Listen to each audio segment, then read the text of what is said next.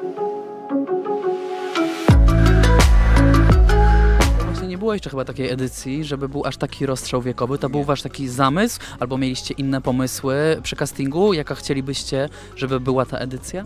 Zobaczyliśmy, no, znaczy, ja jestem poza tą sferą castingową, prawda? No Czasem więc- tam z kimś rozmawiasz. Więc, y, wiem, że y, potem y, mówiła mi produkcja, że to było, to, to było takie działanie celowe, to znaczy zobaczono, że, że, y, że na casting zgłaszają się też osoby y, y, dojrzałe, prawda? I wpadł taki zamysł, żeby to wykorzystać, żeby pokazać też narrację i to, w jaki sposób ludzie ze zespołem Downa widzą świat, jakby nie, który już nie jest tylko i wyłącznie podporządkowany pewnego rodzaju wizji, marzeniom, ale też przez pryzmat ludzi, którzy już swoje przeżyli, swoje o świecie wiedzą. To bardzo ważne i to myślę, że to bardzo wybrzmi w tym sezonie. Zobaczyliśmy też taki fragment, że zaraz po przylocie do Turcji zarekwirowano wam sprzęt.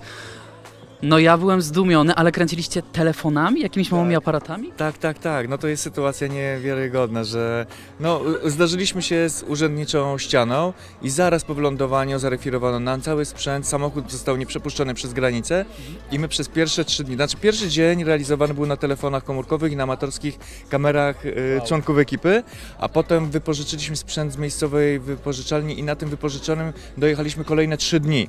E, no, y, sprzęt teoretycznie miał specyfikacje i to były te same kamery, które przywieźliśmy z Polski, ale pamiętam minę operatorów, jak wszedłem do nich, zobaczyłem jak wściekli składają to. Ja mówię, co jest, a y, y, jeden z nich powiedział, stary, zaraz wyskoczę przez okno, ten sprzęt się do niczego nie nadaje. Znaczy ustawienie go, konfiguracja pod nasze standardy, to było coś bardzo trudnego, więc trzy dni było robione na wypożyczonym sprzęcie, aż w końcu udało nam się odzyskać, odzyskaliśmy i sprzęt, y, no i przede wszystkim samochód, no bo przez pierwsze dwa odcinki nie występuje nasz samochód, który jest przecież czymś, co identyfikuje e, Tam się dzieje naj... to całe życie po prostu w waszej trasie. Tak, tak, tak, więc byliśmy go pozbawieni. Przez pierwsze e, kilka dni poruszaliśmy się po Stambule e, taksówką, no i właściwie odzyskaliśmy samochód w momencie, kiedy opuściliśmy Stambuł i poje, poleciliśmy najpierw na południe i tam nasz e, samochód czekał na nas.